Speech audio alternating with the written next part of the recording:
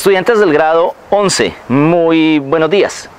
Eh, les recuerdo a todos ustedes que para uno de los requisitos importantes para recibir la certificación del SENA es presentar a ellos la creación, la creación y la alimentación de una página web.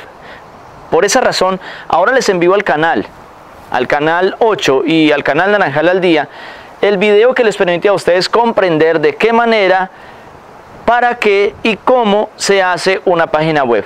A partir de esto, espero que cada uno de ustedes o ustedes se estén acercando, aquellos que no tienen computador, acérquense y busquemos la forma de que lo hagan acá, pero deben tener una constancia. Los que tienen computador en su casa, comiencen a realizarla. Trabajo final para el certificado de el SENA una página web creada por ustedes. Le hemos trabajado en ello, hemos iniciado, no se ha terminado. Eh, les estoy colocando un tutorial en el cual ustedes pueden aprender a hacerlo si tienen computador. Si no, acérquense, saben que permanezco en el colegio. Eh, solucionamos lo del equipo, pero en la sede, ya que pues he tenido inconvenientes. Y nos ponemos en pro de que en estos en este mes y medio ustedes puedan tener el trabajo final que les permite la certificación con el SENA.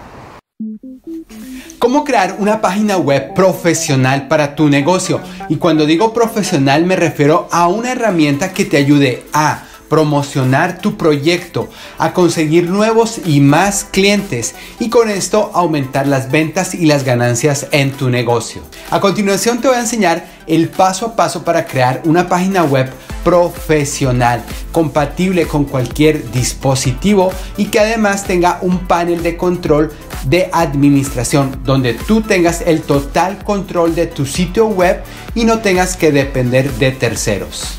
Sin necesidad de saber nada de códigos o programación, vas a poder crear tu sitio web de una manera fácil, rápida y económica con el proveedor adecuado, confiable y seguro. En mi sitio web, en la página de recursos, y dejo el enlace acá y en la descripción de este video, vas a poder encontrar la información más actualizada de este tutorial junto con todos los enlaces y recursos mencionados. Nosotros como dueños de negocio necesitamos herramientas profesionales que le ayuden realmente a nuestro negocio. Por eso es que no recomiendo aquellas páginas web gratis que no cuentan con las herramientas suficientes y si vamos a solicitarlas nos van a cobrar precios muy costosos.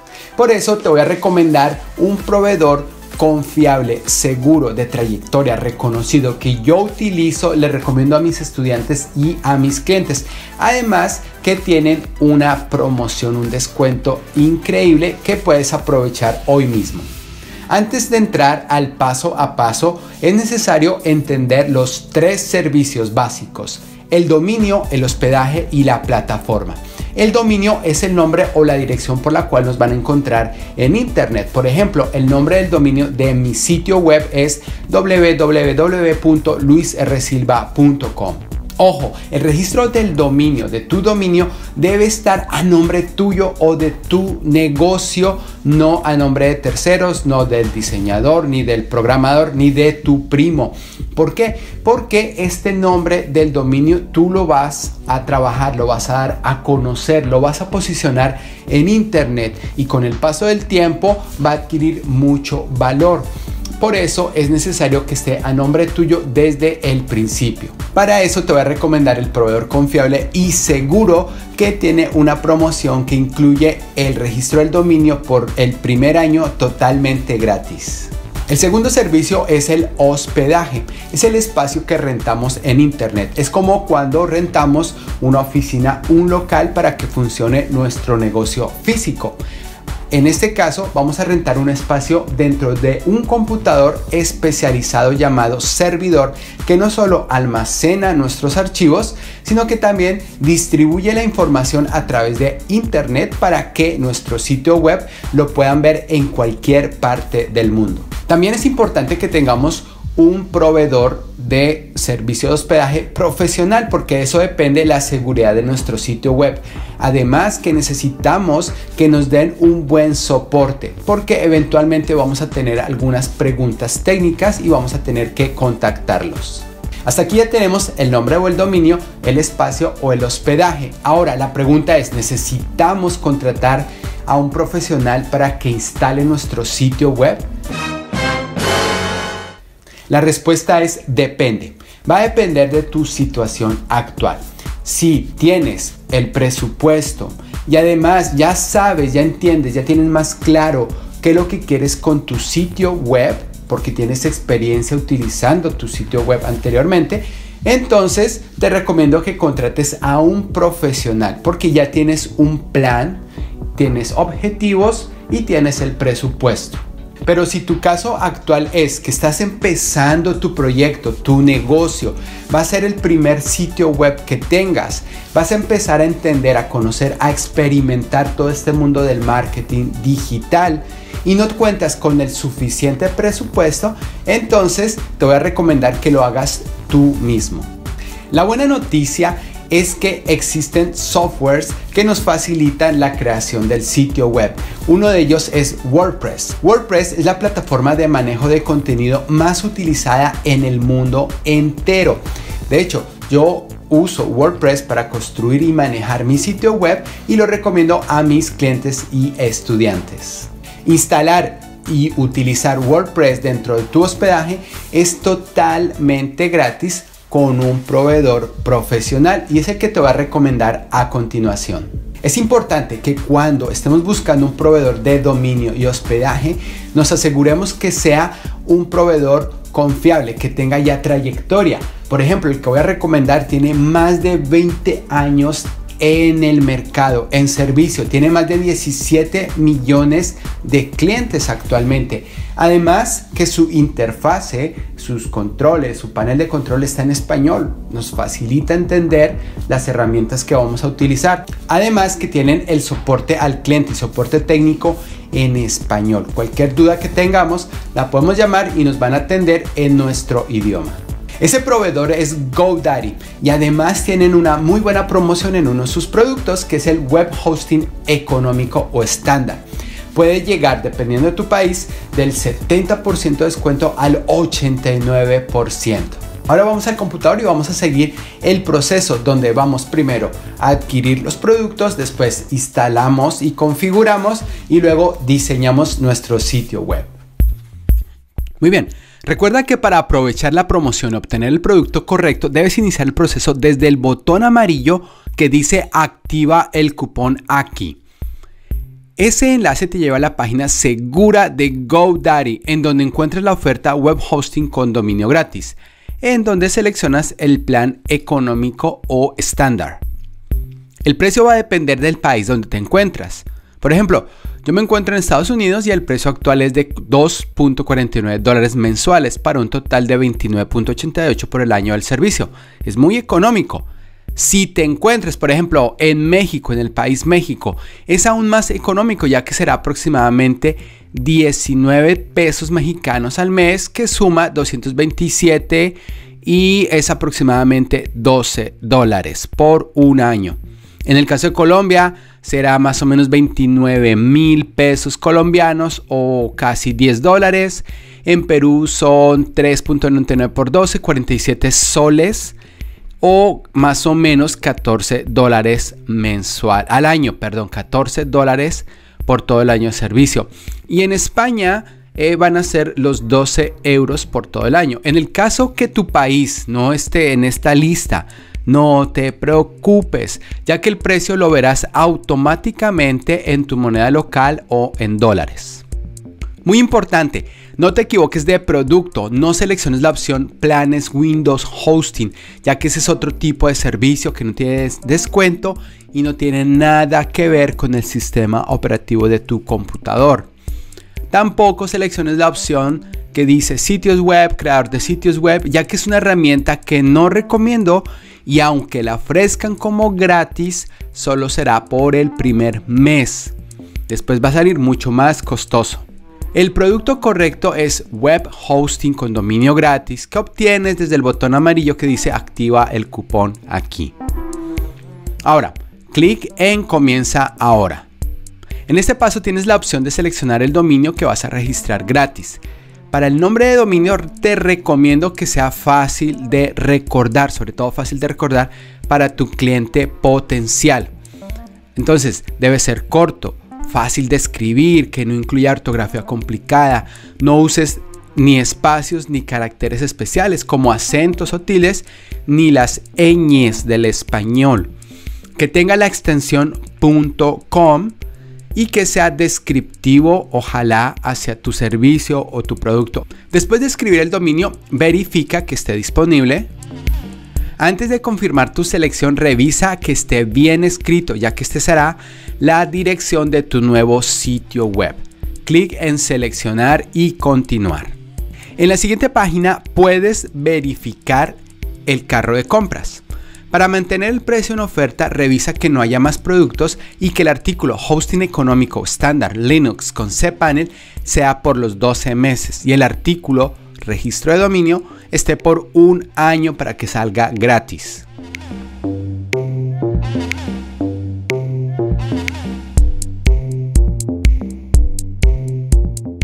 Clic en crear cuenta.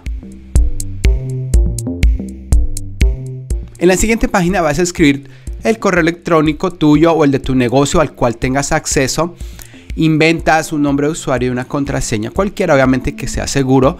También necesitas inventar un PIN de cuatro números que te servirá al momento de contactar al soporte de GoDaddy si lo necesitaras. Te recomiendo que esta información la apuntes en un lugar seguro ya que son los datos de acceso a tu nueva cuenta en GoDaddy clic en crear cuenta. Ahora te piden la información de facturación. Primero vas a rellenar tus datos de contacto relacionados al método de pago. Bueno, primero revisas, confirmas tu país, escribes tu nombre, tu apellido, número de teléfono, dirección o domicilio. Si en tu país no usan código postal, puedes escribir 0000. Después seleccionas el estado o la región o el departamento y la ciudad en donde estás y clic en guardar. Después seleccionas el método de pago. Dependiendo de tu país, tendrás las opciones de pagar con tu tarjeta de débito, que es la tarjeta del banco, o la tarjeta de crédito, con tu cuenta de PayPal, si tienes una cuenta en PayPal, por medio de una transferencia bancaria. Te repito que las opciones de pago te aparecerán de acuerdo al país donde te encuentres. Clic en guardar puedes volver a revisar tus artículos en el carrito de compras y clic en completar compra. Aquí te redirige a la página de confirmación del pedido. Ahora es muy importante que verifiques tu dirección de correo electrónico. Este paso es indispensable, ya que de esto depende que GoDaddy confirme tus datos y habilite tu cuenta y los productos. Para esto debes visitar tu cuenta de correo electrónico, buscar un mensaje desde GoDaddy, vas a encontrar el recibo del pedido y otro mensaje que dice, se requiere de tu intervención. Abres el mensaje y le das clic al botón verificar correo electrónico ahora. Te llevará a una página que confirma que ya verificaste tu cuenta y posiblemente te van a ofrecer otros productos. Por ahora no necesitas más productos. Te voy a recomendar que vayas directamente a la página Mis productos desde el perfil. En esta página vas a encontrar la lista de productos que hasta el momento tienes. Te van a sugerir algunos otros productos. Te repito, no los necesitas por ahora. Si ves algún otro producto que se agregó por accidente, puedes cancelarlo fácilmente. Aquí solamente vas a necesitar los productos dominio y web hosting. Desde el producto Web Hosting Linux con cPanel, le haces clic en Administrar. En la siguiente página seleccionamos el dominio y clic en Siguiente. Seleccionamos el centro de datos. Si estás en España seleccionas Europa. En el caso del continente americano seleccionamos Norteamérica. Si estamos en Suramérica, Centroamérica o Norteamérica seleccionamos Norteamérica. Clic en siguiente. Crear un sitio web desde WordPress nos pregunta. Por ahora no, gracias. Y clic en terminar. Ahora esperamos unos segundos a que se configure el panel de control del hospedaje. Clic en ir al panel de control y clic en Admin de cPanel. En el cPanel o panel de control de hospedaje tienes la opción de cambiar el lenguaje a español desde Preference, Change Language. Una vez tengas las herramientas en español, vamos a la sección Aplicaciones Web y clic en WordPress. Clic en instalar esta aplicación. Ahora seleccionas el dominio sin www y tampoco sin el HTTPS. Si seleccionas esa opción, te pueden salir errores.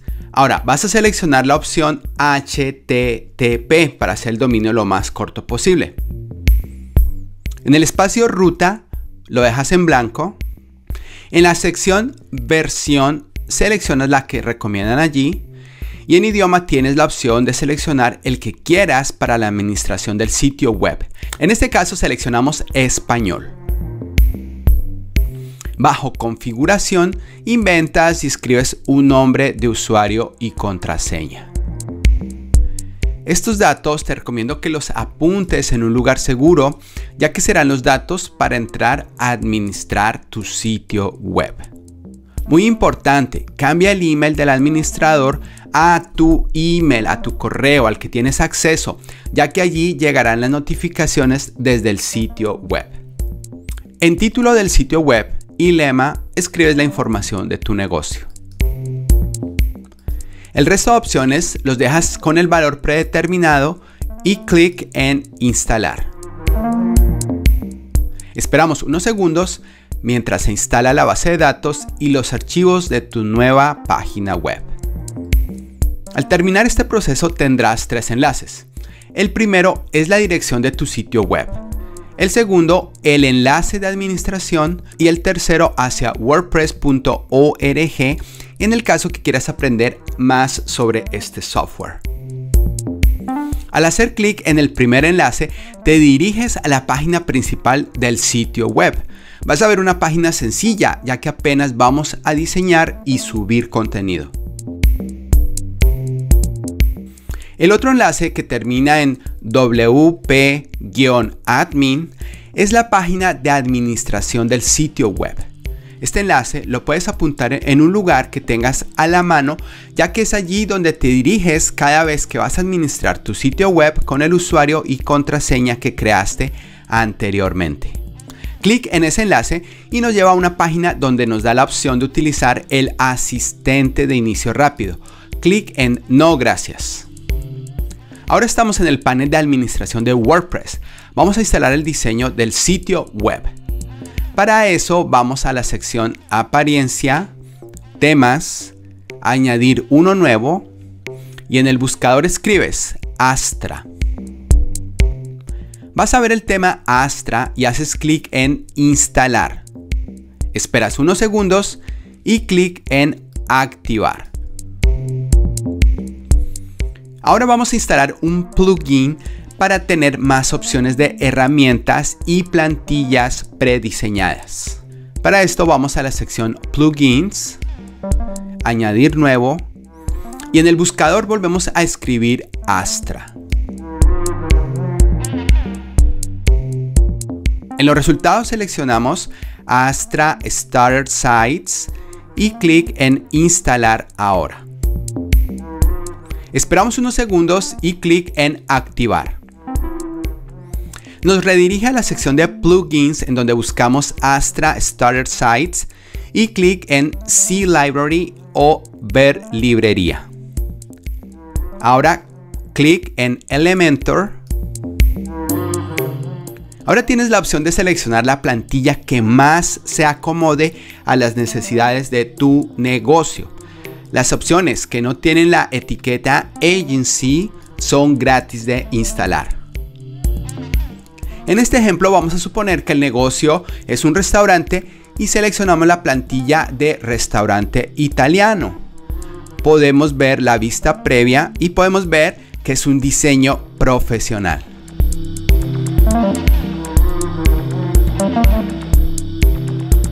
Ya que revisaste que es una plantilla que puede servir para tu negocio, clic en instalar plugins. Esperas unos segundos y clic en importar este sitio.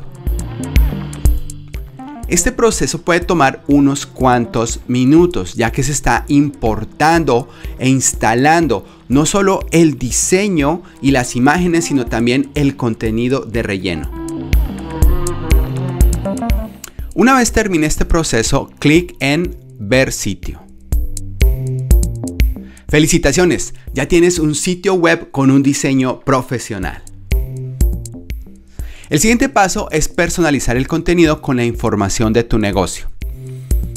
En cuanto al diseño, puedes cambiar textos e imágenes con la herramienta Constructor Elementor, que puedes activar en cada una de las páginas en la barra de administración de la parte superior. Si te aparece un error, no te preocupes.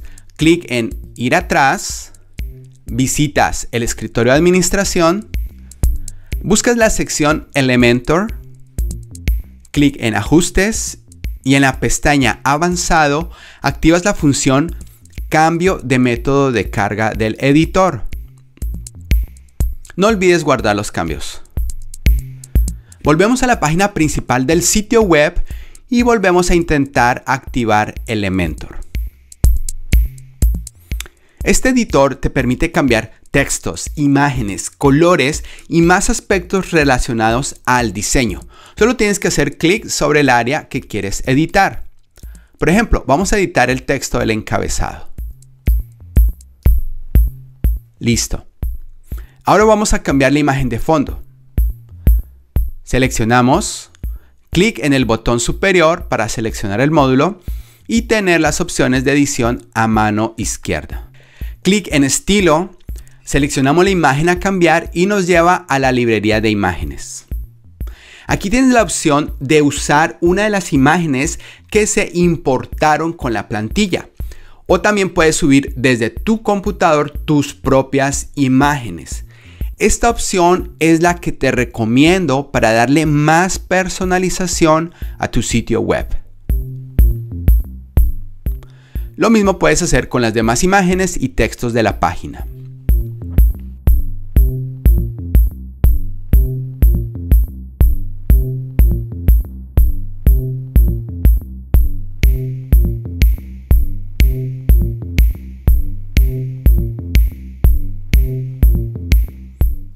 Cuando termines de editar y personalizar la información con la de tu negocio, clic en actualizar para guardar los cambios.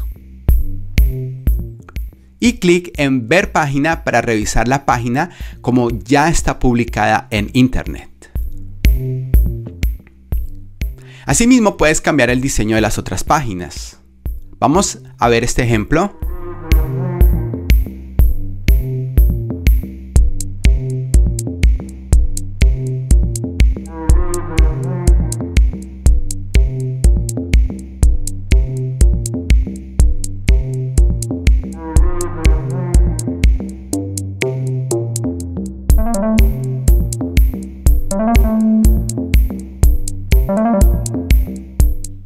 Una vez hagas los cambios necesarios y como opción puedes guardar el diseño de la página como plantilla si la quieres usar más adelante en una nueva página.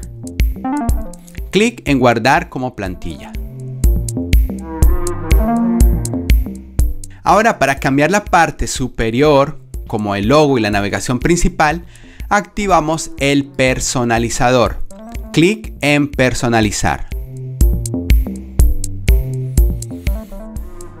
Este es un editor nativo de WordPress que nos permite cambiar, en este caso, el logo y la navegación principal. Clic en el icono azul para editar el logo. Puedes cambiar la imagen o quitarla para utilizar el texto del título del sitio en el caso que no tengas aún tu propio logo. También puedes subir el logo de tu negocio, clic en elegir logo seleccionar la imagen desde tu computador, elegir y se activará la imagen como el logo del sitio web. Para personalizar el botón naranja o el botón grande que aparece allí, clic en el icono y en el editor cambiar a la opción botón, cambiar el texto y el enlace hacia la página a cual se va a dirigir ese botón.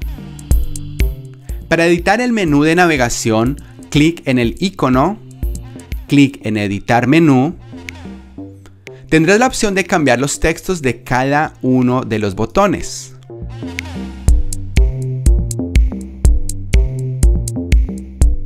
También podrás quitar el botón que no necesites. En este ejemplo voy a borrar el botón inicio ya que el logo ya tiene ese enlace. También podrás agregar un nuevo enlace hacia una nueva página. En este ejemplo voy a agregar la página testimonios.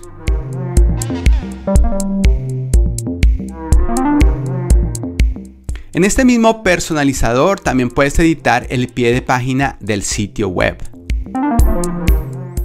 Clic en publicar para guardar los cambios y clic en la X para salir del personalizador.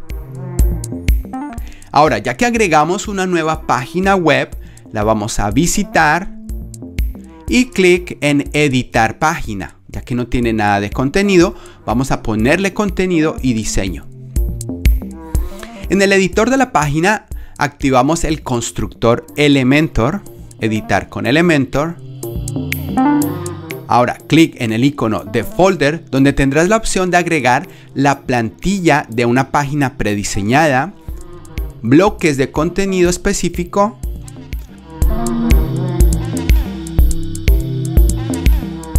o usar las plantillas que ya hayas guardado previamente.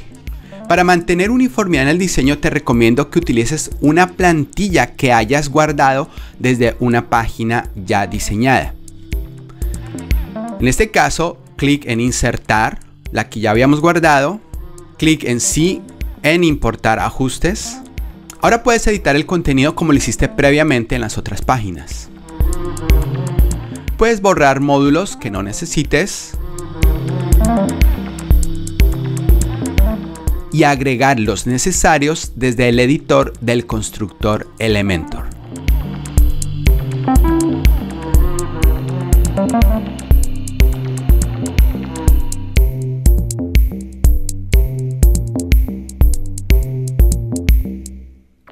Una vez que hayas terminado, clic en publicar o actualizar y ver página. En la sección del blog, en este caso la cambié a consejos, se publicarán los artículos en orden cronológico. Como se importaron artículos de relleno anteriormente con la plantilla, puedes borrar los artículos o entradas desde el escritorio, seleccionas y mueves a la papelera. Para crear una nueva entrada, clic en Añadir nueva o desde la barra de administración Añadir entrada. En el editor de la entrada o artículo agregas el título y puedes usar el editor de WordPress para agregar bloques con imágenes, encabezados, textos y más funciones agrega una imagen destacada al artículo.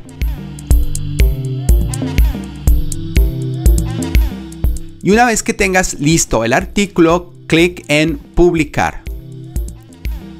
Clic en ver entrada para revisar cómo se ve en el sitio web. Y cada vez que agregues una nueva entrada, esta se publicará en orden cronológico en la sección de blog o en este caso consejos. También puedes editar los textos de esta sección en el botón editar página.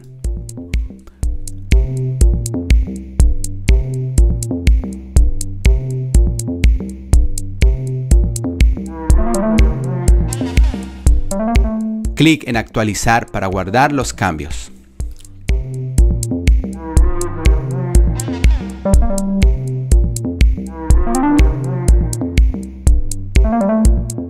En la página de contacto encontrarás un formulario electrónico de contacto. Para configurar este formulario te recomiendo que instales el plugin WP Forms. Para esto, visita el escritorio, plugins y añadir nuevo. Busca WP Forms.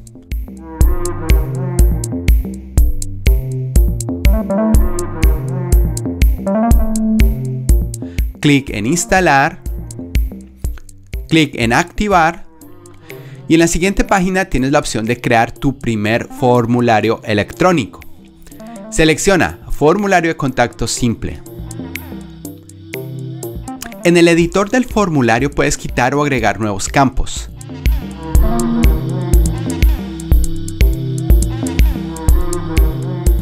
En la opción de ajustes, asegúrate de escribir tu correo electrónico para que te lleguen los mensajes que enviarán desde este formulario. Clic en guardar. Clic en incrustar. Y vamos a copiar el código corto. Asegúrate de copiar todos los caracteres sin dejar ninguno afuera. Cierras el editor del formulario y visitas la página de contacto. Activas Elementor, seleccionas el formulario y en el editor borras el código corto viejo, el anterior, y pegas el nuevo código del nuevo formulario. Clic en actualizar, ver página tendrás la opción de editar el diseño del espacio donde aparece el formulario. Activas Elementor nuevamente, seleccionas el formulario y en el editor bajo la opción Avanzado puedes cambiar el color de fondo. También puedes aumentar el margen para dar más espacio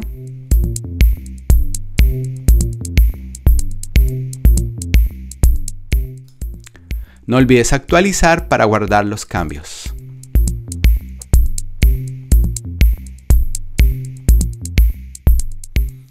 Te recomiendo que envíes un mensaje de prueba para asegurarte que los mensajes van a llegar a tu correo electrónico.